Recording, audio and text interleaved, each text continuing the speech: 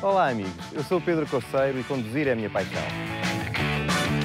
Devemos usar sempre o cinto de segurança, mesmo que o trajeto seja curto.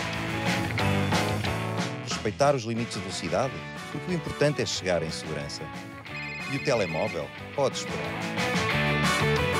Aprender é fixe!